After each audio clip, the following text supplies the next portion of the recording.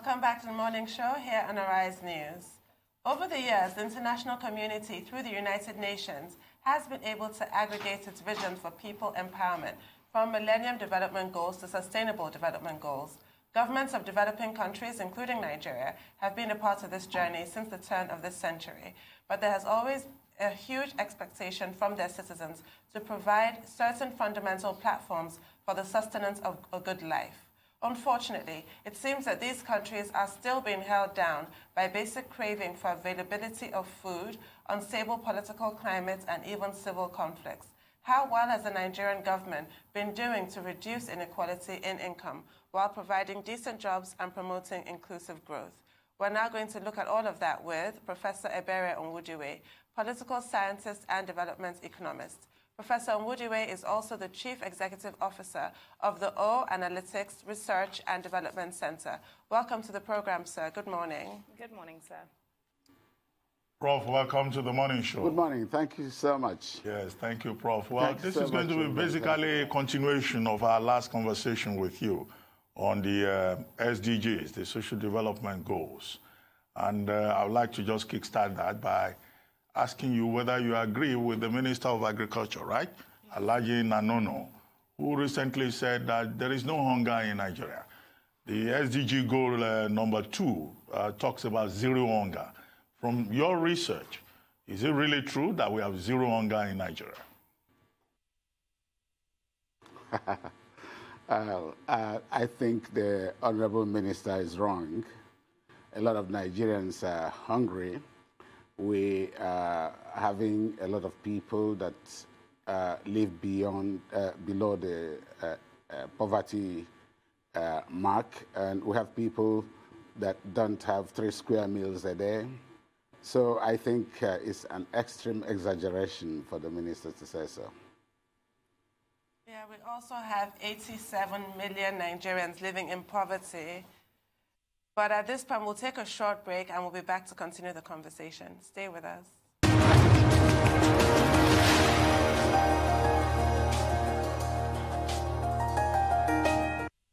Welcome back to the morning show here on Arise News. We're still with Professor Onwudiwe, Chief Executive Officer of the O Analytics Research and Development Center. Sir, before we went on the break, I was talking about the 87 million Nigerians living in poverty, and I wanted to relate that to SDG Goal 8, which talks about job creation and entrepreneurship.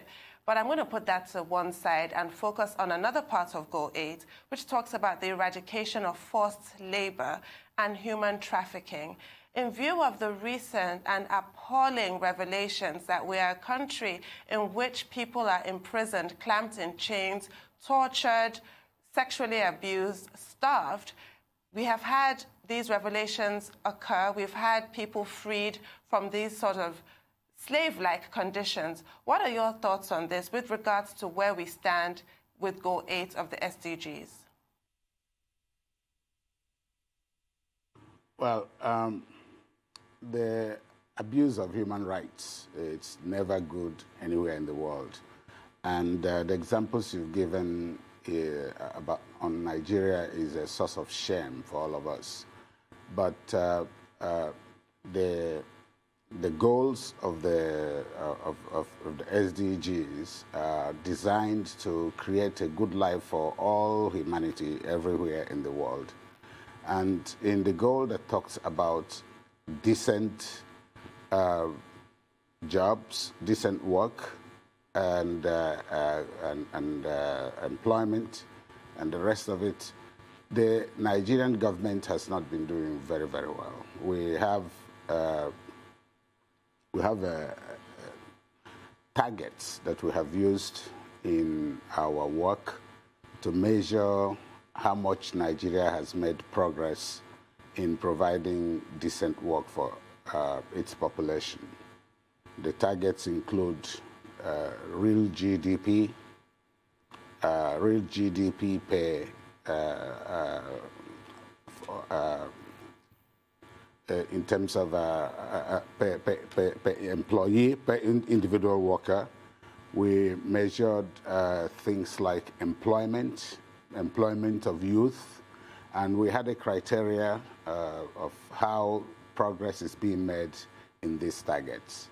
And in some of these targets, Nigerians, uh, uh, Nigeria as a country is making uh, some progress moderately uh, uh, in terms of real GDP growth, real GDP per employee for employed people. and, but in areas of employment, in areas of employment for the youth, the country is not doing very well. So our overall assessment in looking at all the targets is that Nigeria is performing below the expected level.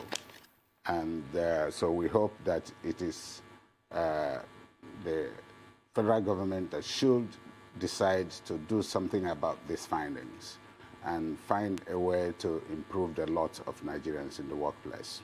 Absolutely, Professor. And although, although we are really not reaching our target here, it's also important to note that we may not be doing as badly when it comes to the inequality of income as other African countries. I was looking up our Gini coefficient earlier, and we're about 0.391 compared to South Africa, which is 0.6.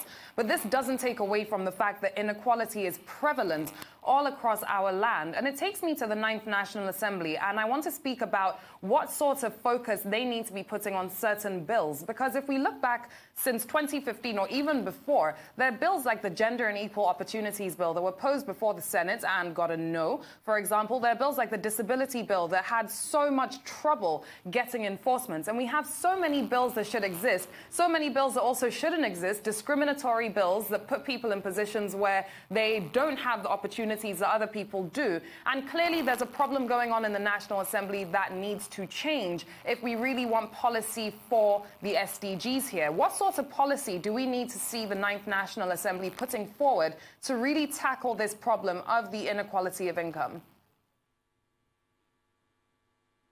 Okay, well, uh, yes. What we uh, looked at was income inequality, as you have uh, rightly observed. But there are several other kinds of inequalities in our society, as you also uh, implied in your statement and question. Number one is that we have inequality in terms of gender. We have inequality in terms of disabilities. We have inequality even in terms of ethnicities in our country. We have inequality in terms of uh, class in our country. So, so many levels of inequalities.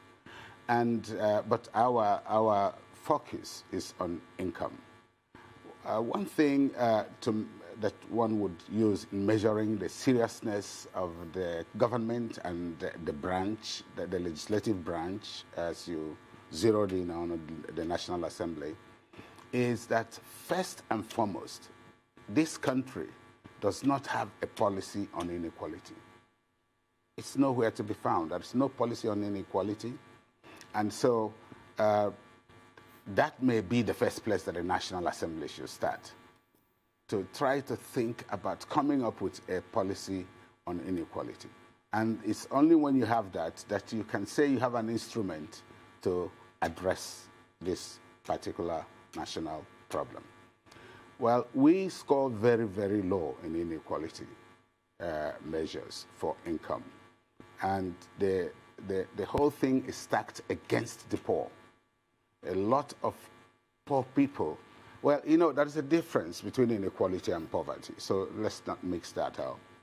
Uh, for, for poverty, we have, we have a line, we have a benchmark where we say if somebody is earning anything less than this, that person is poor. But for inequality, we don't have any such benchmark inequality is just the difference between those who have and those who don't.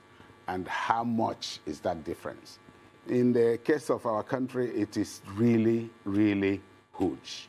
As Oxfam data has shown all over all through the years, how the, a few, the income of five Nigerians uh, is more than, uh, could, could, is, is big enough to lift 112 million Nigerians out of uh, out of this uh, situation of poverty. So we have such data. Nigeria should not pat itself on the back because it's, uh, it's doing uh, uh, uh, slightly better than a few other African countries. We are the largest economy in the continent, for Christ's sake. And so we should do, we should set examples in narrowing the income gap between the rich and the poor. Well, uh, Prof, I mean, uh, all the goals that we've been looking at, it looks like, uh, you know, Nigeria is not doing well on uh, almost every goal. Is there any particular goal out of the 17 uh, where you think uh, Nigeria is doing very well? Maybe um, goal 17, which deals with their partnerships, because we seem to be holding meetings, you know, either in Yokohama or in South Africa or in uh, Sochi, in Russia, you know, striking partnerships on some of these issues. Where, where do you think the progress, uh, you know, indicator lies out of all these uh, 17 goals? Well, in truth, uh, I think the best approach to the 17 SDG goals is for our country to really sit down and don't aspire to achieve the whole number of 17 goals. Because uh, the situation for us is unique.